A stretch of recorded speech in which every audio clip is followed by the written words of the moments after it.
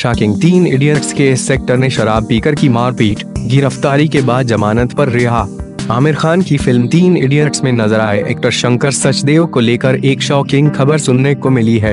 जानकारी के मुताबिक, शंकर ने मुंबई के ओशीवारा इलाके में शराब के नशे में कुछ लोगों के साथ मारपीट की। इस मामले में पुलिस ने शंकर समेत उनके परिवार के चार लोगों के खिलाफ मामला दर्ज किया, जिसके बाद उन्हें गिरफ़्तार कर लिया गया था। शंकर फ़िलहाल जमानत पर रिहा हैं। शराब पीकर गेस्ट हाउस कर्मचारियों के साथ की मारपीट। बॉम्बे लीक्स पर छपी एक खबर के अनुसार, मुंबई के ओशीवारा पुलिस स्टेशन में दर्ज एफआईआर में बताया गया कि शंकर की एक मित्र ओशीवारा इलाके के ट्विंकल गेस्ट हाउस में अपने परिवार के साथ रुकी हुई थी। बीते शनिवार को शंकर अपने परिवार सहित उनसे मिलने पहुँचे। इसके बाद रात के करीब आठ बजे शंकर और उनके घर वाले शराब पीने बैठ गए।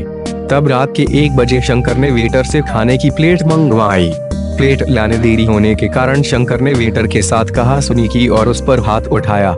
इस बात को लेकर गेस्ट हाउस में मौजूद दूसरे लोगों ने इस पर आपत्ति जताई, जिसके बाद शंकर ने उनसे भी गाली गलौज कर दी। बात इतनी बढ़ गई कि गेस्ट हाउस के कर्मचारियों ने अपनी मालकिन हेमा चौधरी को कॉल करके सारी बात बताई। हेमा कुछ ही देर बाद गेस्ट हाउस पहुँची और शंकर से इस झगड़े की वजह पूछी। तब शंकर ने हेमा के साथ भी गाली गलौज की, जिसके बाद गेस्ट हाउस के स्टाफ ने मिलकर शंकर को पीटा। पुलिस ने दर्ज की क्रॉस एफ़ इस मामले की जाँच कर रहे ओशीवारा पुलिस के पीआई खानवेलकर ने मीडिया को बताया कि इस केस में शंकर की बेटी आस्था सचदेव ने गेस्ट हाउस कर्मचारियों के खिलाफ एफआईआर दर्ज करवाई।